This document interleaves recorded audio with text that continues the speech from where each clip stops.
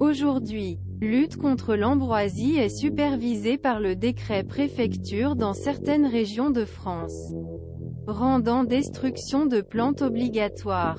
Comment reconnaître l'ambroisie? Les symptômes de l'allergie? Ambrosia est une plante originaire d'Amérique du Nord, importée pendant moins d'un siècle, de famille des Astéracées. Cette plante est classée par l'Union européenne comme une espèce exotique envahissante, Ambrosia. Avec un armois, est considérée la morphologie évolue pendant son développement. Blandaon. Ambrosia peut facilement être confondu avec le saut vulgaire.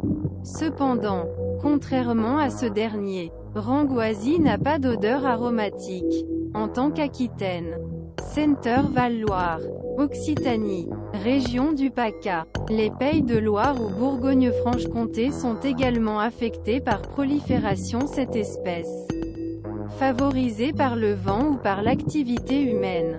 Les pollens de l'ambroisie se déplacent de l'été à l'automne.